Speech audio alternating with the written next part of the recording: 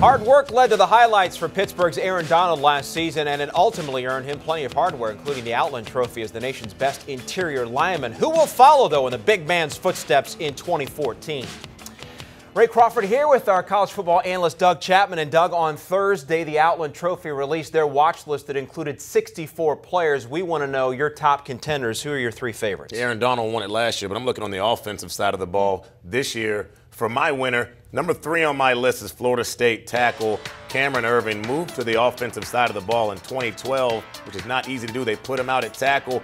All he has to do is block for the best football player in college football, Jameis Winston. Very athletic, probably the most athletic guy of this bunch. First round potential written all over. Number two on my list is Cedric Ogbuehi from Texas A&M.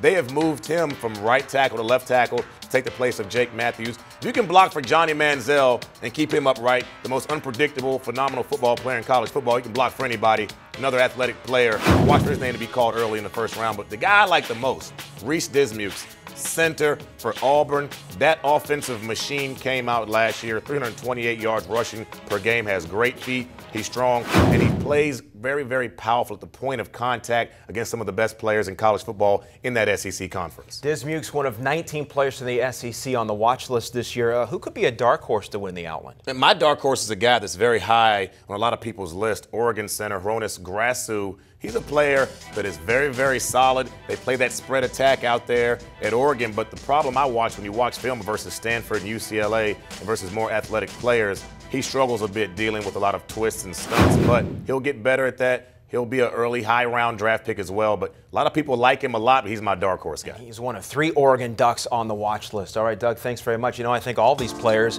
would gladly give away the individual hardware to hold up the new college football playoff trophy. That trophy will be unveiled for the first time Monday at 11 o'clock Eastern, and you can see it live here on CampusInsiders.com.